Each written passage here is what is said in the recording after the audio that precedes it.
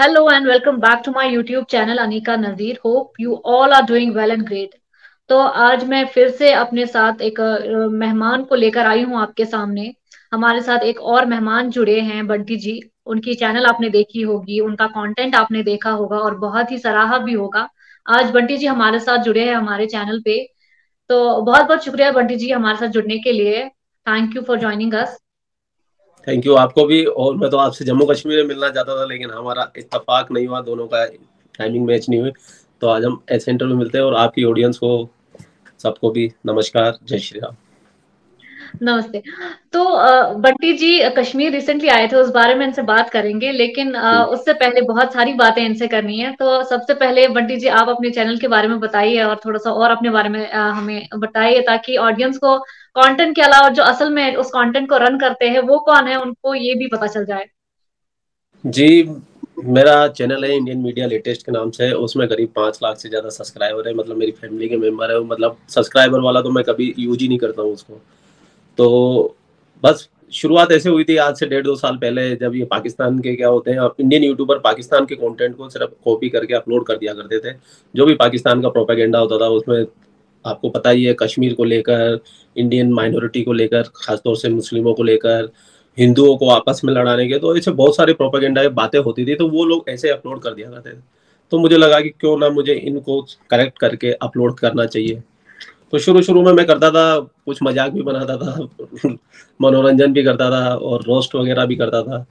तो शुरू शुरू में लोगों को अच्छा नहीं लगा क्योंकि उस टाइम पे अगर आपको पता हो तो लोग सिर्फ़ न्यूज़ देखना पसंद करते थे। कुछ भी बीच में डिस्टर्बेंस नहीं, सीधी, सीधे सीधे। तो काफ़ी लोगों की गालियाँ भी पड़ती थी। फिर धीरे धीरे एक फिजा खलीफा मतलब फिजा खान, पाकिस्तानी पत्रकार है, वो बहुत बहुत इंडिया इंडिया किया करती थी। तो वो और उसको लोग इंडिया में सबसे ज़्यादा देखा करते थे मतलब पूरी दुनिया में उसके चैनल के हिसाब से भी। तो मुझे लगा इसको काउंटर करना चाहिए, और वो लोगों को इतना पसंद आया। तो जब मेरे ख्याल से एक लाख सब्सक्राइबर थे मेरे। फिजा को शुरू करते करते करते आज यहाँ तक पहुँच गए और मेरा मेन मकसद सिर्फ़ यही होता है कि पाकिस्तान की प्रोपागेंडा को जितना ज़्यादा हो सके कंट्रोल किया जाए और उनको सही तरीके से बताया जाए। क्योंकि उनके वीडियो भी पूरी दुनिया के लोग देखते हैं जो हिंदी समझते हैं खासतौर से।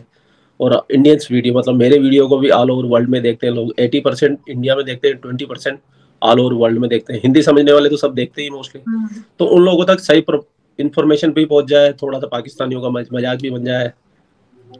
और मनोरंजन भी हो जाए लोगों का बस। बिल्कुल सही। आ, लेकिन आ, आज हम आपसे इसी सोशल मीडिया के बारे में बात करेंगे इन प्लेटफॉर्म्स के बारे में बात करते हैं जिनसे हम अपना ओपिनियन सामने रखते हैं या कोई बात सामने रखते हैं। बंटी जी आपको पता ही होगा आप भी आ, इंडिया पाकिस्तान कंटेंट पे काम करते हैं तो यू नो बहुत सारे नो पाकिस्तानी चैनल्स भी होंगे जो चीज़ें सामने रखते हैं। तो आपके हिसाब से कितना ज़रूरी है ओपिनियन रखना? क्योंकि आप देखिए देखिए जैसे आपने कि आपने अपना चैनल स्टार्ट किया और आपने ये तय किया कि हमें जो है इस जो ये नकली न्यूज़ है इसका जो प्रोपागेंडा है वो उसको उसका जो बांडा है वो मैं फोड़ दूँगा ताकि सब लोगों को पता चले असल में क्या बात है। हम्म। क्योंकि अगर एक चीज़ बार बार कॉन्स्टेंटली आपके सामने किसी वीडियो के ज़रिए आपके सामने आ रही है आ रही है आ रही तो एक ना एक बार तो आप उस पर यकीन कर ही लेते हैं। जी जी जी तो जब ये नकली न्यूज़ आपके सामने आती है बार बार और काउंटर करने वाला कोई नहीं है तो फिर ये न्यूज़ आपके जहन में जो है आपके जहन पर असर डालती है और आपके जहन को आलूदा करती है। तो कितना ज़रूरी है ये इन यू नो प्लेटफॉर्म्स पे रहना और इन अपने ओपिनियंस को काउंटर ओपिनियंस के तौर पर सामने रखना। जी बिल्कुल बिल्कुल। आप जो बिल्कुल जो बात करी है बिल्कुल एकदम परफेक्ट है ये और जो पाकिस्तानी के लोग जो खासतौर से जो भारत के खिलाफ और कश्मीर को लेकर इतना प्रोपेगेंडा चलाता है वो एक झूठ को वो किसने किसने कही है? महान आदमी ने ये बात की एक झूठ को अगर सौ बार बोला जाए तो वो सच मान लिया जाता है। तो वही प्रोपेगेंडा पाकिस्तान चलाता है पाकिस्तान के लोग आज भी पाकिस्तान का मेन स्ट्रीम मीडिया खास तौर से पाकिस्तान के पॉलिटिशियन पाकिस्तान की आर्मी यहाँ तक कि इवन पाकिस्तान की आवाम भी यही बोलती है कि कश्मीर के अंदर कर्फ्यू लगा हुआ है। उनको इंटरनेट नहीं है उन पर जुल्म करते हैं उनकी माँ बहन बेटियों को इंडियन आर्मी उठा के ले जाती है। और आज भी यही नेरेटिव पाकिस्तान की आवाम में अगर आप पाकिस्तानी रिएक्शन पा, पाकिस्तानी लोगों को सुने तो आपको पता चलेगा। कि उनके दिमाग में जो आपने कहा ना नेरेटिव बिल्ड कर दिया जाता है। तो उनको आज भी ये लगता है कि, उनको ये लगता है कि हिंदुस्तान के अंदर मुसलमानों को दो एम दर्जे का मतलब नाग सिटीजन माना गया है। उनको मस्जिदों में नहीं जाने दिया जाता, उनको नमाज़ पढ़ने नहीं दी जाती, उनको वोट देने दिया नहीं, वोट देने से रोका जाता है उनको। तो ऐसी बहुत सारी जो नेरेटिव बिल्ड करने की बातें होती है ना, कि ताकि जो पाकिस्तानी आवाम को कश्मीर के ऊपर हमेशा तैयार रखे। मतलब कि क्या बोलते हैं उसको, ये जज्बा जिहाद और वो मतलब मुसलत करने के लिए पूरी पाकिस्तानी आवाम तैयार है तो वो नेरेटिव बिल्ड कर दिया। अब वो जितना पाकिस्तान की आवाम को कर सकते थे, कर दिया। अब उनका इन्फ्लुएंस करना है इंडिया के अंदर। और जैसे जैसे समय के साथ में सोशल मीडिया बढ़ता गया और ब्रॉडकास्टिंग बढ़ती गई टीवी मतलब आज हम बैठ के कहीं भी किसी से बात कर सकते हैं, कुछ भी न्यूज़ जान सकते हैं। जैसे आप भी देखो, अभी कश्मीर में हूँ, मैं यहाँ जयपुर में हूँ। तो उन्होंने प्लान बनाया कि कश्मीर के ऊपर प्रोपागेंडा चालू है। अब पूरी दुनिया को तो पता चल चुका है कि पाकिस्तान झूठ बोलता है कश्मीर को लेकर।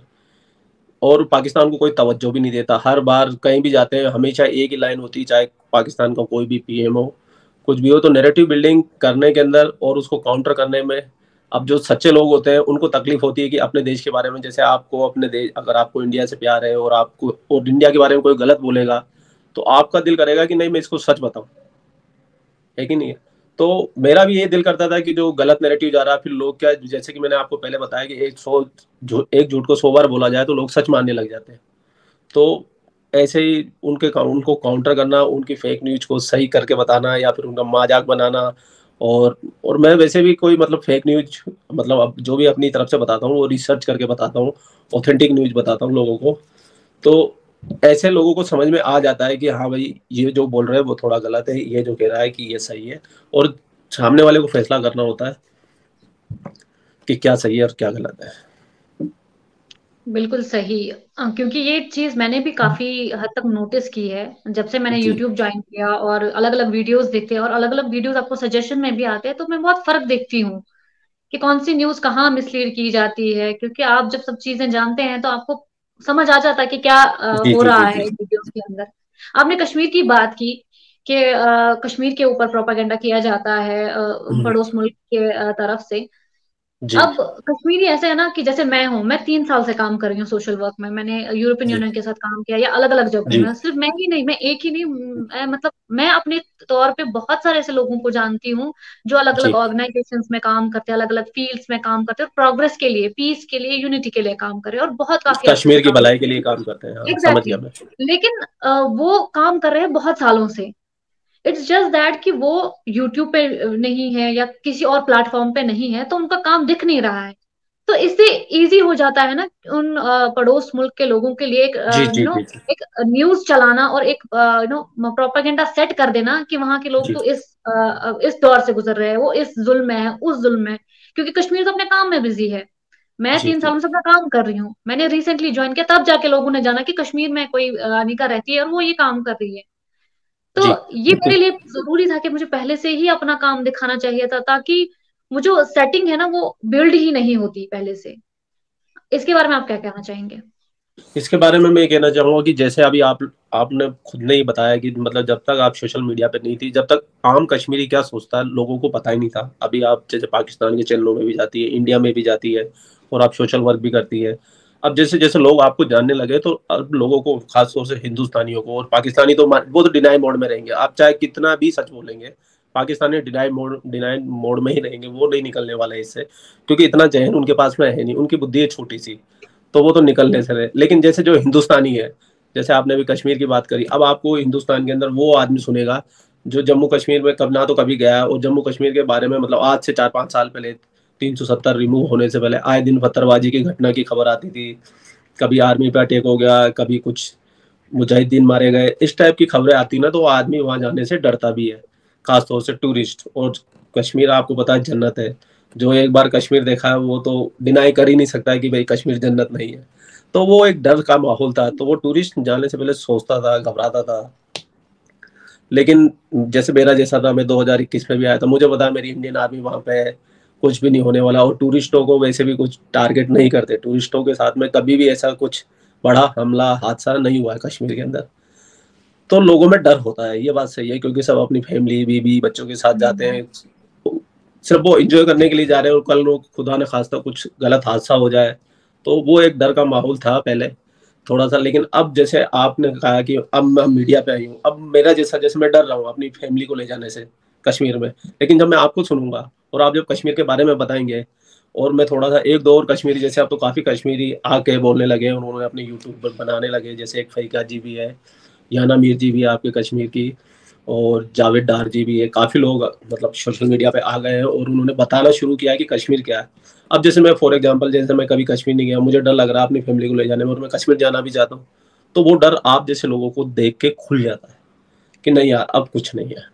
ये बंदी कश्मीर में बैठ के, जब कश्मीर के बारे में बात कर सकती है, कश्मीर दिखा सकती है, और वो जो मतलब दूसरे यूट्यूबर है, वो तो मतलब जगह जगह घूम घूम के भी वीडियो बनाते हैं कश्मीर के तो खुद अपनी आँखों से देखते हैं, टूरिस्टों से बात कराते हैं तो वो एक डर होता है ना, वो खत्म हो जाता है। और सबसे मेन बात तो मैं तो ये बोलना चाहूँगा, अगर आप लोग कोई भी जम्मू कश्मीर जाना चाहता है तो बिंदा जाओ भाई, बहुत खूबसूरत जगह है, पहले तो कट्टा जाओ, माता वैष्णो देवी के दर्शन करो, और फिर जम्मू जाओ, कम से कम तीन, चार, पाँच दिन आदमी को एक बार तो जम्मू कश्मीर जाने जाना चाहिए। देख के आना चाहिए कि कितनी सुंदर जगह है। तो बस अब ऐसा कहा जाता मैंने मैं सोशल मैसेज दिया लोगों को कि भाई आप डरो मत आप बिंदास कश्मीर जाइए आपके वेलकम के लिए कश्मीरी तैयार खड़े हैं। और इतना प्यार मोहब्बत से बातें करते हैं मैं आपको सीरियसली बताऊँ कि फिर लास्ट टाइम गया था ना तो मेरे को किसी ने मना किया था कि देखो तो कश्मीरी से उलझने की ज़रूरत नहीं है कश्मीरियों से पाकिस्तान को लेकर कोई बात नहीं करनी आर्मी से लेकर कोई बात नहीं करनी खास तौर से कश्मीरी से। और मतलब था एक मेरा जानने वाला और उसने मेरे को मतलब इतना स्ट्रिक कर दिया था। और मैं बिल्कुल अपने और बोला तेरे साथ कल को कुछ भी बात होती है ना तो पुलिस स्टेशन भी जाने की ज़रूरत नहीं सीधा आर्मी के पास जाना वो तेरी हेल्प करेंगे। तो मैं सिर्फ़ एक दिन के लिए रुका था तो ऐसा देखो होता है ना डर जो पहले कश्मीर जाके आया था उसने मुझे ये चीज़ें बताई थी। बिल्कुल मैं लेकिन जब मैं तो खुद आया है। यही तो नैरेटिव हाँ, बिल्डिंग है कि यही तो नैरेटिव बिल्डिंग है कि कश्मीरी ने बोला नहीं वो अपने काम में बिज़ी है। और जिनके पास प्लेटफॉर्म था उन्होंने इस तरीके से इस्तेमाल किया कि विद इन द कंट्री भी वो हो गया फैल गया लोगों में कि वहाँ नहीं जाना है। अब मैं लास्ट टाइम आया था। जी जी मैं आपको ये कह रहा हूँ तो जब मैं लास्ट टाइम आया था सिर्फ़ मैं एक दिन के लिए आया था लद्दाख जाना था मुझे बाइक से बाइक से आया था मैं। और वहाँ भी मुझे मेरा जो यूट्यूब देखती थी एक कश्मीरी लड़की थी वो भी मुझे एक दरगाह में मिली थी और फ़ोटो सेल्फी वगैरह ली थी। लेकिन वो भी उसने खुद नहीं ली। मैं दूर खड़ा हुआ था कि मेरे को नहीं कश्मीरियों को दूर रहो भाई। डर था लेकिन बोली सर मैं आपकी फ़ैन हूँ मैं आपके वीडियो देखती हूँ। सोलह साल की बच्ची थी नहीं बहुत अच्छा है उसने अपना नंबर दिया और उसने मुझे बताया सर पहलगाम घूमने जाइए इधर जाइए उधर जाइए तो मेरे पास टाइम था नहीं। अब तो मैं जैसे मैं आपको ये बोल रहा हूँ जो मेरा डर था वो इस बार जब मैं कश्मीर आया वो पूरी तरीके से डर खत्म हो गया। मैंने कश्मीरियों से उस टाइम मैंने ज़्यादा कश्मीरी से बात नहीं की मैं शिकारे में रुका था। वो शिकारा नहीं हाउस बोट डल लेक में। हाउस बोट से चला गया था मैं मतलब सिटी की तरफ़ आया ही नहीं था मैं कि वहाँ हो क्या रहा लेकिन इस बार सिटी में रुका सिटी के लोगों से मिला। और वेज खाना मतलब अगर आप वेज खाते हो कश्मीर के अंदर और आपको ये लगता है कि नहीं वहाँ वेज खाना नहीं मिलेगा तो भाई साहब मैं आपको तो इतने वेज रेस्टोरेंट मैंने देखे इस बार मैं तो हम्म। हैरान हो गया। मतलब जगह जगह पे प्योर वेज रेस्टोरेंट आपको भाई साहब अगर वेज भी खाते हो कोई दिक्कत नहीं बिंदास आ जाइए। तो नेरेटिव बिल्ड था और वो मेरा इस बार खत्म हो गया। मेरे दिमाग में भी थी कुछ बातें लेकिन वो क्लियर हो गया। तो वो सेटअप जो है अच्छा एक और चीज़ है कि अब आपको वो फ़र्क कहीं क्योंकि आप रेगुलरली यूट्यूब पे कंटेंट डालते हैं जी, और कंटेंट नोटिस भी करते होंगे कि क्या कंटेंट चल रहा है। जी, तो उस पर आपकी नज़र होगी। तो आपको ऐसा लगता है कि जब से बहुत सारे कश्मीरी जो है वो यू नो बिल्कुल सामने आके अपने आप को प्रेजेंट करते हैं अलग अलग जगहों पे जाते हैं और यही नहीं, अभी नहीं मतलब कश्मीरी यूट्यूब पे है। कितने सारे कश्मीरी यूट्यूबर्स जो अलग अलग जगहों को एक्सप्लोर करते हैं डेली व्लॉग्स बनाते हैं, वो भी उनके शायद बाकी रेस्ट ऑफ़ द इंडिया में उनके बारे में बहुत कम लोगों को पता होगा।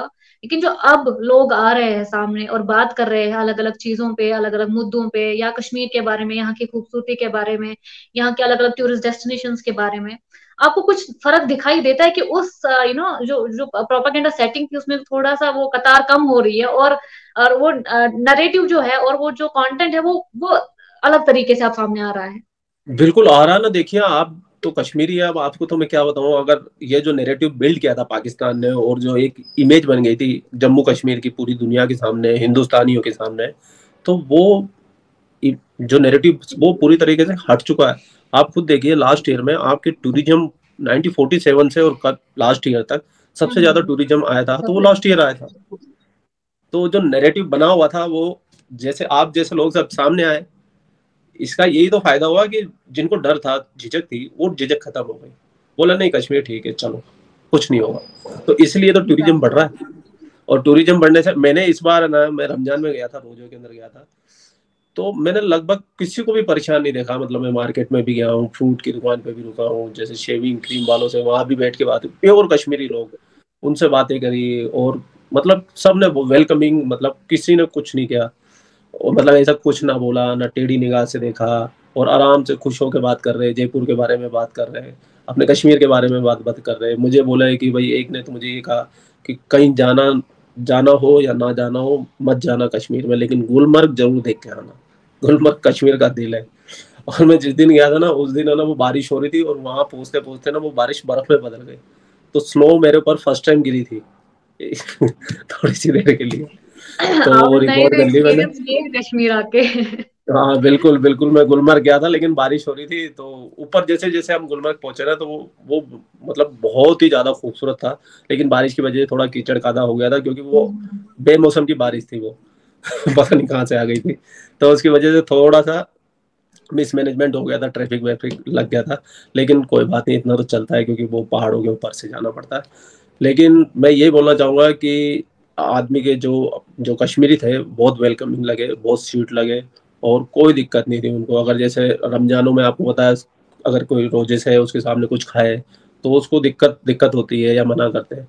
तो मैं जिस होटल में रुका था वो तो कहता सर आप खाइए ना रोजा मेरा है अगर मेरी अगर नीयत खराब होगी तो मैं पक्का मुसलमान नहीं हूँ। आप खाए मस्त रहे चाय बोलिए आपको कितनी चाय चाहिए मैं मना के दूँगा आपको।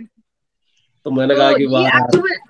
एक्चुअलिटी ये होती है और ये लोगों को बहुत लोगों को नहीं पता होती है और इन स्टोरीज को सामने आने की बहुत ज़रूरत होती है। अच्छा जी, आप जी, यहाँ पे आए ज़ाहिर सी बात है आप बहुत सारे टेम्पल्स भी है यहाँ पे कोई ऐसा एक्सपीरियंस आपका जो टेम्पल्स मैं मैं जम्मू कश्मीर के सारे मतलब सारे तो नहीं मैं जितने देख सकता था मेरे पास समय था जितना मैं वो देख के आया। एक तो एक तो सबसे पहले तो मैं वो अपने ऊपर टेंपल बना हुआ ना कौन सा है? शंकराचार्य। हाँ शंकराचार्य जी का मंदिर देख के आया मैं और मैंने एक खीर भवानी जिनके बारे में बहुत सुना था माता रानी रंग बदलती है। हाँ रंग बढ़ता हाँ। उसके मैंने सबके मैंने स्काई ब्लू कलर का रहता है आसपास। जी। जी जी जी जहाँ सात रंग बदलते पानी बदलता है हाँ, कोरोना से पहले भी चेंज हो गया था। तो मैं हाँ। खीर भवानी गया था और जो आसपास के छोटे छोटे मंदिर नहीं है वो सब देख के आया हूँ मैं और उन सब के वीडियो ब्लॉग भी बनाए मैंने अब एडिट करने का टाइम मिला नहीं। जैसे मुझे समय मिलेगा मैं पूरे कश्मीर को कैद करके लाया हूँ मैं। यहाँ से रिलीज़ करके पूरी दुनिया को दिखाऊँगा मैं लेकिन आप बहुत देर कर रहे हैं वो रिवील करने में। हाँ, अगर हाँ, इतना करके लाए तो फिर फिर तो आप देर कर रहे हैं क्योंकि बहुत सारे लोग मेरे यू नो इन वीडियोस पे आके कमेंट्स करते हैं आप यहाँ वहाँ के टेम्पल्स के बारे में नहीं बताते हमने कितनी बार आपको बताया कि आप नहीं बताते। मैंने बोला मैं जब गई थी तब मैं यूट्यूबर नहीं थी और अच्छा, वो वीडियोस। मेरे पास है नहीं। और अब जब मैं जाऊँगी तब मैं ज़रूर बनाऊँगी लेकिन अभी प्लान में नहीं है क्योंकि मैं बाकी कामों के साथ अभी बिज़ी हूँ। लेकिन आप लेकर गए कैप्चर करके लेकर गए लेकिन अपलोड नहीं कर रहे। So, अपलोड एक्चुअली मेरे पास थोड़े समय की तंगी रहती है ना तो मैं सारे अपलोड करूँगा। अगर आपके व्यूअर भी देख रहे हो तो मेरा ब्लॉगिंग चैनल एच के चार बंटी ब्लॉग्स के नाम से ही है। उसी पे अपलोड करूँगा मैं। और मैं पूरा जम्मू से लगाकर मैं क्योंकि मैंने पीछे का तो शूट किया नहीं लेकिन जम्मू से श्रीनगर जाने का और श्रीनगर पहलगाम तक आने का पूरा रिकॉर्ड किया सब लोग डालूँगा सो so, जो भी लोग ये मतलब सवाल पूछ रहे थे कि यहाँ के टेम्पल्स क्योंकि यहाँ पे एक यहाँ एक टाइम पे कश्मीर ऐसा रहा है ना यहाँ पे जब हम कहते हैं ना सेक्युलर पूरे देश सेक्युलर है। तो Kashmir itself was secular और अभी भी है। यहाँ के टेम्पल्स यहाँ पे आपने देखे होंगे जैसे आपने खुद से बताया आप खुद आए मैं आप मैं आपको सेकुलरिज्म की जो आपने बात कही ना तो मैं देखो अब तो जो 90 में हुआ कश्मीरी पंडितों के साथ तो अगर उस घटना को अगर छोड़ दे साइड में भी तो खीर भवानी मंदिर के वहाँ पर मुस्लिम लोग प्रसाद बांट रहे हैं। मतलब प्रसादों की दुकानें उनकी है चुनरी वो दे रहे हैं और बड़े खुश होकर दे रहे हैं। लास्ट टाइम दो तीन बार गई हूँ हमारी एक मैम है उनके साथ वो जब भी आती है तो वो मुझे बताती हैं तो हम साथ में चलते हैं। जी, और जी. वो ये चीज़ मैंने भी वहाँ देखी है और वही नहीं जैसे आप जिस एरिया की बात करते हैं तुलमुला की तुलमुला में बहुत सारे अभी भी पंडित फैमिलीज़ रहती हैं और उनके घर में जब शादी हाँ, रहती है रहती है मुझे पता चला था फिर बाद में मैं बोलता आपको और उनके घर में शादी होती है तो वो जाते हैं तो वो अभी भी यहाँ पे है। लेकिन इस हाँ, की वो स्टोरी ज़्यादा बाहर नहीं आती और उनको बाहर लाने की ज़रूरत है ताकि लोगों को एक परस्पेक्टिव मिले within the country not outside the country उनको क्या ही बताया हम कि क्या चल रहा है यहाँ पे but within the country वो अगर कहीं पे वो गैप रह गई है उस अंडरस्टैंडिंग में वो फील होना बहुत ज़रूरी है। जी जी जी। और मैं आप आप शुरू हो गए थे नहीं तो मैं आपको बता रहा था कि जो खीर भवानी मंदिर है जैसे मुस्लिम लोग बाहर की तरफ़ मतलब पूरी दुकान वगैरह लेकिन जब मंदिर के अंदर जाते हैं तो वहाँ पीछे पंडितों के घर बने हुए हैं वहाँ पे रहते हैं वो। और काफ़ी घर है और पास में उनकी भी दुकानें हैं फ़ूड रेस्टोरेंट जैसे प्योर वेज खाने वाले मंदिर के अंदर की साइड में। हम्म। तो वहाँ पे खाना भी है प्योर वेज अगर जिसको खाना हो तो मैं भी बता दूँ। अगर कोई सोचे कि वहाँ नहीं मिलेगा तो वहाँ भी मिलेगा खाना। तीन या चार रेस्टोरेंट है पंडितों के ये कश्मीरी और वहाँ पे रहते भी है पंडित। हाँ और कश्मीरी पंडित का जो अलग से क्यूजीन है जैसे दम आलू वाले वो भी मतलब अलग अलग क्यूजीन है बिल्कुल वेज प्योर वेज जी जी जी मैंने तो उसका भी फ़ूड ब्लॉग भी बनाया मैंने कश्मीरी जी दम तो आलू और वो कमल की लकड़ी का वो मैंने बनाया ब्लॉग हाँ नद्रू उसको कश्मीरी में बोलते हाँ नद्रू नद्रू नद्रू नद्रू नद्रू। का साग। बिल्कुल नद्रू की सब्ज़ी सब कुछ एवरीथिंग जो भी वेज है सब कुछ मिलता है। पीला पनीर भी बनाया था बोला ये भी हमारे कश्मीरी पंडितों की काफ़ी फ़ेमस डिश है। पीला पनीर नद्रू का साग और दम कश्मीरी दम आलू। और पुलाव बोला पुलाव का खाने का मेरा मन नहीं था लेकिन वो कश्मीरी पुलाव भी बनाने के लिए रेडी था। बोला सर आप हमारे गेस्ट हो। मतलब इतना खुश हो गया वो कश्मीरी मतलब पंडित थे वो। और मतलब दिल से खिला रहे थे ऐसा लग रहा था जैसे कोई अपने फैमिली मेंबर नहीं होता कि काफ़ी दिन बाद में। जी। तो कश्मीरी तो दिल में प्यार मोहब्बत बहुत है। मैं ये तो मैंने अनुभव की है। लेकिन जो डर था अब जैसे जैसे लोगों को आप जैसे लोगों के आने से जो नेरेटिव बनाया हुआ था लोगों का और कुछ लोग क्या थे कि कश्मीर पाकिस्तान प्रो पाकिस्तान कश्मीर में भी थे। जो कश्मीर हम्म। पाकिस्तान की जुबानी बोलते थे वैसे हुए हैं पास्ट में वैसे हादसे हाँ। यहाँ पे हुए हैं जिसकी वजह से जो बेचारा फिर वो दिखाना भी चाहता था ना कि जो जैसे आपने बोला कि वो ऐसे मुझे लगा कि किसी ने टेढ़ी निगाह से नहीं दे, देखा। जी, जी, जी, जी, वो तो पहले भी था कि उनके अंदर वो प्यार मोहब्बत की भावना तो पहले से ही थी। लेकिन जो वो कुछ अनासर ऐसे थे कुछ एलिमेंट्स थे जो नहीं चाहते थे हाँ, वो, वो नहीं चाहते बेचारे डर जाते थे उस वजह से। क्यों क्योंकि उनकी भी फैमिली फैमिली कंसर्न वो आ जाता है कि खुद तो इंसान मर जाए लेकिन फैमिली का क्या करे? जी जी जी। और अभी भी वहाँ पे है कुछ प्रो पाकिस्तानी है लेकिन अब वो चुपचाप साइड में बैठ गए अब वो भी आम कश्मीरी की तरह ज़िंदगी जी रहे हैं कर रहे हैं। उनको पता क्या हुआ कि चलने वाला नहीं है। जो था असल में वो अब रिवाइव हो रहा है और वो कभी जी, जी, कब तक पीछे रह जाता। उसको एक दिन रिवाइव होना था और वो रिवाइव हो रहा है। जी जी जी जी बिल्कुल सही बोल रहे हैं आप और और बताइए आप क्या पूछना चाहते हैं मेरे से? तो खैर आपके साथ तो बहुत सारी बातें हुई और पड़ोस मुल्क के बारे में भी बातें हुई। अच्छा एक आखिरी सवाल मैं आपसे पूछना चाहूँगी कि इतना सब हो रहा है रिवाइवल हो रहा है और कश्मीरी खुश है पूरा देश खुश है लोग यहाँ से अलग अलग यू नो स्टेट्स में जाते रहते हैं वहाँ के लोग यहाँ रहते हैं। कोई ऐसा मतभेद नहीं है आपस में। तो फिर ये जो हमारी पड़ोस पड़ोसी हैं ये क्या ऑब्सेशन है इनका? कि इनको बार बार ऑब्लिगेशन आते हैं, कभी जी ट्वेंटी को लेकर, कभी बाकी चीज़ों को लेकर। इसको आप कैसे एक्सप्लेन करते हैं? देखिए, मैं तो इसको ऐसे एक्सप्लेन करूँगा, अगर थोड़ा हार्ड लाइन में बोलूँ। तो देखिए, पाकिस्तान है ना, पाकिस्तान। पाकिस्तान का जन्म ही नफरत की बुनियाद पे हुआ है। जब तक पाकिस्तान पूरी तरीके से डिस्ट्रो नहीं होएगा ना, तब तक पाकिस्तान से ऐसे हेट आती रहेगी, ऐसे ही उनकी जाली मक्कारी वाली साजिशें हमेशा होती रहेगी। और ये पाकिस्तान कभी नहीं रुकने वाला, क्योंकि उसकी बुनियादी नफरत है। हिंदुस्तानियों से या हिंदुओं से नफरत कि भाई हम इनके साथ नहीं रह सकते, और वो नफरत ही लेके पाकिस्तान गए थे। और वो नफरत हमको वापस थोड़ी थोड़ी करके वो लौटाते रहते हैं। वो कभी नहीं रुकने वाले पाकिस्तान की कौम। पाकिस्तानी कभी भी, इनके पास में दो तीन मुद्दे बने हुए हैं, और अगर आप देखिए, ये पाकिस्तानी अगर कश्मीर को इतना भला करते हैं, आप वहाँ के रहने वाले हो, आपको हिस्ट्री अच्छी तरह पता है कश्मीर की। 1948 में जिन कबालियों को अफगानियों को जो उधर से बॉर्डर पे जिन्ना ने लालच दे के भेजा था कितनी माँ बहन बेटियाँ मारी गई थी कितने के साथ में बलात्कार किए थे इन कबालियों ने घर घर को लूट के गए थे कश्मीरियों के उन्होंने ना तो हिंदू पंडित देखा ना मुसलमान कश्मीरी देखा उनके सामने जो आया उनको काटते चले गए वो। हम्म। और जितना लूट सकते थे जितना मार सकते थे उन्होंने बिना भेदभाव के ये सब काम किया कश्मीरी माँ बहनों के साथ में। लेकिन फिर भी कुछ कश्मीरी पाकिस्तान के नेरेटिव में सेट होते हैं तो गल, गल, गलती करते गलती करते थे लेकिन अब उनको भी मोदी जी ने सीधा कर दिया एकदम। तो ये कश्मीरी आवाम को ये चीज़ बताने की ज़रूरत है वो एलिमेंट भी ऐसे थे कि उनको अपना फ़ायदा जहाँ पे लगता था अपने मन मुताबिक वो अपना जो पक्ष है इधर उधर रख देते थे। बिल्कुल बिल्कुल। तो मैं यही तो कह रहा हूँ वो बंद हो चुकी है लॉक हो चुकी है। जी जी अब तो काफ़ी हद तक कंट्रोल हो चुका है और अब तो ऐसी कोई खबरें भी नहीं आती है।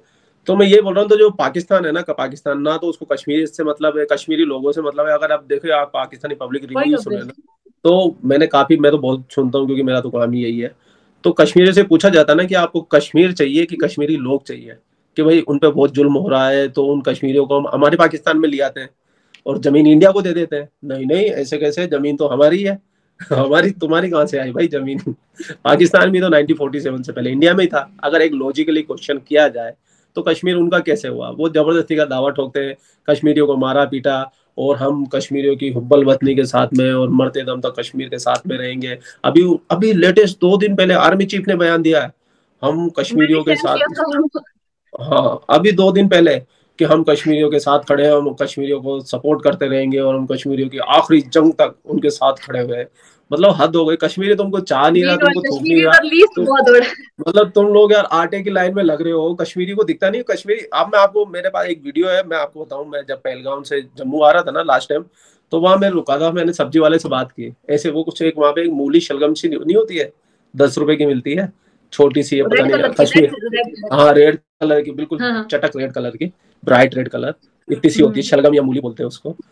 तो वो मेरे साथ एक और थी महान यूट्यूबर किट्टू राव तो उसको बड़ी पसंद आई थी। उसने वहाँ खीर भवानी में खाई थी तो वहाँ रस्ते में दिख गई, जम्मू मतलब श्रीनगर में सब्ज़ी वाला रोड पे हाईवे पे खड़ा हुआ था तो बोले, ये ले लो। लेने के लिए रुके। ऐसे उससे बातें करी, थोड़ा खुश मिजाज आदमी था तो वेलकमिंग आदमी था, अच्छी बातें कर रहा। फिर मैंने कहा कि, अब जैसे पाकिस्तान पाकिस्तान में तो आटे की लाइनें लग रही तो इतना ज़ोर ज़ोर से हंसने लगा, वो पाकिस्तान है, वो भूखा नंगा है। मतलब मेरे को इतनी खुशी हुई, इतना मज़ाक बना रहा, बोला, आपको नहीं पता, वहाँ आटे के लिए लाइनों में लग रहे लोग। हम हिंदुस्तानी है हमारा दिल हिंदुस्तान के लिए धड़कता वो वीडियो है मेरे पास में। डालूँगा मैंने उसको रिकॉर्ड भी किया था पूरा। तो बड़े उसने मज़े लिए कश्मीरी ने पाकिस्तानी। के तो ये प्रोपेगेंडा जो आप कह रहे हो ना कि खत्म करेंगे कभी पाकिस्तानी कभी खत्म नहीं करेंगे। ये खुद खत्म हो जाएँगे। अब आप हाँ, खुद ही हाँ। देखिए ना। खत्म हो गए। सिक्स पॉइंट नाइन बिलियन के लिए आईएमएफ के आगे मतलब लेट गई है। आईएमएफ ने नाकों से लकीरें खिंचवा दी है। कटोरा इनका दोनों हाथों से।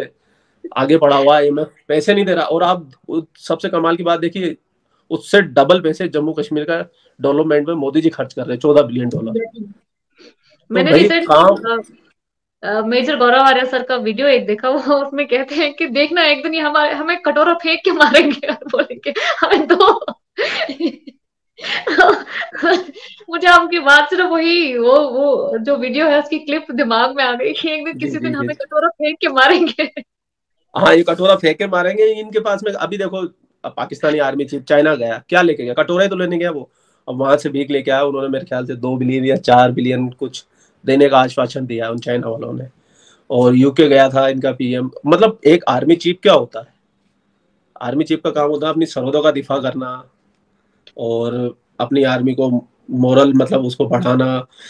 लेकिन इनके टीटीपी वाले अफ़गानिस्तान से आते टीटीपी वालों को पुलिस वालों को आर्मी वालों को डेली ठोक के जा रहे हैं। और जबकि ये कहते हैं कि हमारी पाकिस्तान की आर्मी आईएसआई दुनिया की नंबर वन है। अबे नंबर वन है और तुम्हारे घर में घुस के मार के जा रहे हैं तुम्हें। तो ये जो आपका जो सवाल था ना कि भाई ये पाकिस्तानी कब सुधरेंगे ये कभी नहीं सुधरेंगे। ये जिस दिन मतलब वो क्या बोलते हैं उसको कयामत आएगी पाकिस्तान तबाह हो जाएगा उस दिन जाके ये शांत होंगे। अब इतना बुरा होने के बावजूद भी पाकिस्तान के अंदर मतलब इतनी बुरी हालत है वहाँ बिजली लोगों को मिल नहीं रही प्याज मिल नहीं रहा दवाइयाँ मिल नहीं रही है और इंडिया के साथ जो व्यापार करते थे प्याज टमाटर मिल जाते थे आवाम खाने को वो मिल नहीं रहे। इतने बुरे दौर से गुजरने के बाद में भी अगर वो आज भी आपसे नफरत करते हैं और आज भी व्यापार नहीं करना चाह रहे हैं या कुछ भी नहीं करना चाह रहे हैं सिर्फ़ नफरत ही नफरत देना अपने हाँ प्रोपागेंडा चलाए जा रहे हैं अभी भी। और अभी भी मैं तो कल की बात बता रहा हूँ मैंने कल एक पाकिस्तानी मतलब रिएक्शन वगैरह देखता रहता हूँ, क्योंकि मुझे फिर उनमें से ज़ाहिर ढूँढने पड़ते हैं, हिंदुस्तानियों के मनोरंजन के लिए। तो अब वो कल भी कह रहा है कि हम इंडिया को फतेह करेंगे इंडिया को हम फतेह करेंगे मतलब आज भी गजवा हिंद करेंगे हम। अब सालों आठ आठ मिल नहीं रहा है। एक बड़ा एक्सपोर्टर बन गया रिफाइंड ऑयल का उसके बाद भी हाँ। इनको इंडिया हाँ। को ही फतेह करना है। हाँ वही तो ना और सऊदी अरब वालों को गाली देते हैं कहते हैं अब वहाँ पर आपको पता है डिस्को भी खोल दी है औरतों को भी आज़ादी दे दी। मतलब जो सऊदी अरब है इतना स्ट्रिक्ट इस्लाम था वहाँ पे रिफॉर्म करे जा रहे हैं वो। तो सऊदी अरब को भी गाली दे रहे हैं बताओ। अब मतलब अब मैं क्या कहूँ कि मतलब वो जो सऊदी अरब के मुस्लिम को तो कोई क्वेश्चन कर ही नहीं सकता कि आप नॉन मुस्लिम हो या आप मुस्लिम ही नहीं हो। क्योंकि देखो बाद में तो लोग कन्वर्ट होके भी तो काफ़ी इस्लाम के अंदर आए ना। और पाकिस्तान हिंदुस्तान और बांग्लादेश।